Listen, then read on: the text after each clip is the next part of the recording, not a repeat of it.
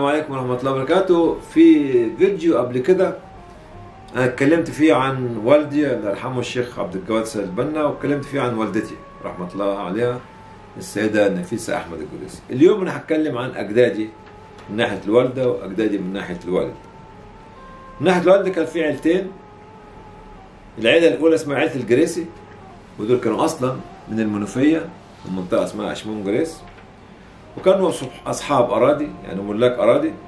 وأنا أعتقد أنهم انتقلوا إلى القاهرة في نهاية القرن يعني في القرن ال 19 وكانت تجارة الغلال كانت رائجة جدا جدا جدا في الوقت ده. ويعني نزل الشباب الصغير للقاهرة وانتقلت العيلة بالتدريج للقاهرة عشان يعملوا تجارات الغلة من عندهم. كان مسكنهم في الضرب الأحمر.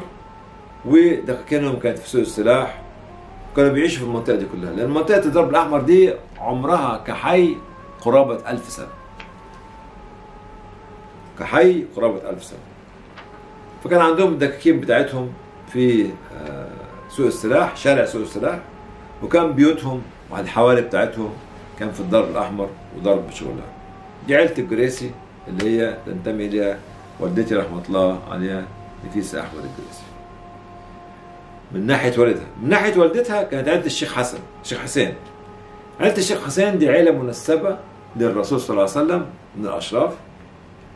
وكان جدي الشيخ حسين أنا ما شفتوش. لكن كان يقال إنه رجل من الأتقياء رحمة الله عليه. وكان أسمر داكن السمرة. فإما كان أصله أصوله من النوبة أو كان أصوله من السودان. وده بيعزي لشخص مثل حالاتي مدى حبه بأفريقيا أو بالسودان بالذات. يعني قد تكون الأصل بتاع جدي الشيخ حسين ده اللي هو آه اللي كان أدهم أدهم يعني داكن داكن السمرة إن إحنا أصول الشيخ حسين ليس من القاهرة نفسها ولكن إما من السودان أو من النوبة في مصر. كان جدي الشيخ حسين كان لي أو خلاني أنت تتميز العيلة دي كلها اللي هي خلان والدتي خالي مصطفى خالي أحمد خالي علي خالتي طنط رقية صفاتهم غير ما بيتخانقوش ما بيزعقوش عليهم الهدوء والوقار والسكينة بالرغم إن أحدهم اتعلم في بريطانيا وكان بيشتغل مدير عام في شركة ماتسيام بتاعت الدخان والآخر كان بيشتغل في سكة الحديد اللي هو خالي أحمد الله يرحمه اللي أنا شكله شوية لأن أنا أسمر زي خالي أحمد. أما خالي علي رحمة الله عليه فكان بيشتغل في التجارة. الشيء الغريب جدا اللي أنا كنت بلاحظه على خالتنا الكبيرة رقية رحمة الله عليها إن كان وشها وهي عندها 60 أو 70 سنة في براءة الأطفال. والبياض اللي في وشها ما كانش بياض لون كان بياض بهاء السكينة والوقار ونقاء السريرة اللي في قلبها. كانت عمرها ما تفتح بقها وتزعق أو تتخانق مع أحد ابدا. كان دايما أنا أتذكرها إنها ليها ضفيرتين وكأنها فتاة صغيرة من الفتيات الصغار في سن الستين أو في سن السبعين سنة. دي كانت عيلة يشبها الوقار والسكينة رحمة الله عليهم أجمعين. عيلتي من ناحية والدي أنا هقدر أتكلم عن والدي اللي هو الشيخ البنا الكبير اللي هو يعتبر جدي من ناحية الوالد أما جدودي من ناحية والدتي فمن ناحية جدتي حميدة يعني اللي أنا أعرفه منهم انساب لعائله الطبقي في المنصورة. الشيخ البنا اللي هو السيد البنا كان لي أربع ذكور اللي هو عمي محمد وعمي مصطفى وعمي أحمد ووالدي وكان لي ثلاث بنات اللي عمتي فايقة وعمتي أسماء وعمتي فاطمة الزهراء. كان جدي الكبير الشيخ السيد البنا رحمة الله عليه كان عايز كل أولاده يطلعوا يطلعوا أزهريين كلهم دخلوا الأزهر.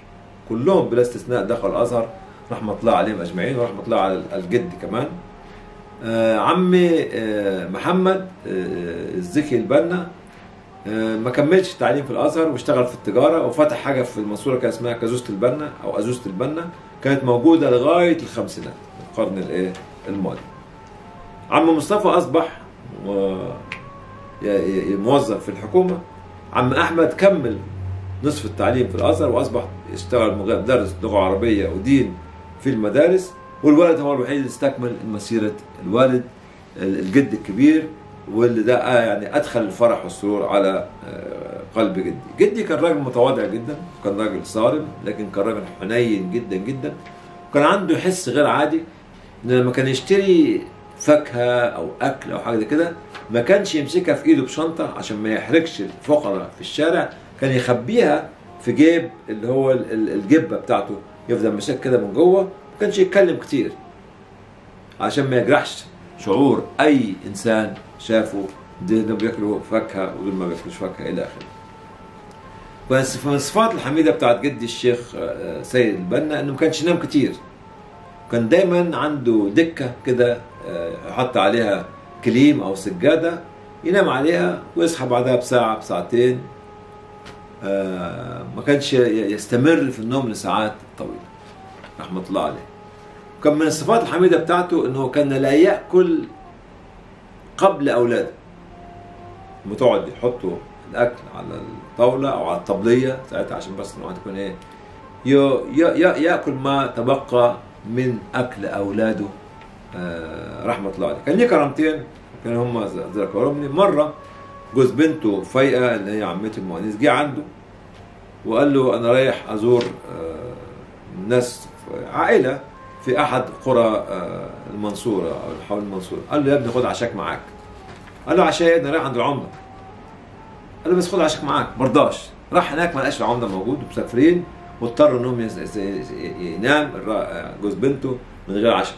فرجع قال له يعني أنت لازم كراماتك تطلع فيا يا شيخ سيد الكرامة الثانية كان بالنسبة له كان بيروح يحج زمان الحج كان على جمال. وقال لهم يا أولاد أنا مش راجع. قال له إزاي يا والدي؟ قال لهم مش راجع. بودعكم. وفعلا رحمة الله عليه بعد ما انتهى من الحج آه، راح يعمل الزيارة آه، عند الرسول صلى الله عليه وسلم وتوفاه الله وهو مدفون في البقيع الآن آه، مع الصحابة الأجلاء. هذا بالنسبة لعيله الوالد رحمة الله عليه. كان. كان الجد دايما حريص على تربية أولاده والتواضع من أجل إسعاد كل أولاده. دي العيلة اللي أنا تربيت فيها تمتعت بالتعدد الثقافي تمتعت باللي هو النسب لآل البيت آه، ال- العلم في بيت البنا التجارة في بيت الجريسي ورحمة الله عليهم أجمعين علشان الإنسان لما يحب يرى كيف تبنى الشخصيات تبنى الشخصيات من الأجداد والأعمام والخلان والخالات والعمات والمناخ اللي إحنا كنا عايشين فيه الترابط الأسري والترابط العائلي اللي بيفكرنا بكيف كانت الأسرة وكيف كانت تعيش يعيش الأطفال داخل كنف الآباء والأجداد والأخلان والأعمام. جزاكم الله خير. عجبكم الفيديو؟ بالرجاء أنكم تشاركوه مع أصدقائكم السلام عليكم ورحمة الله.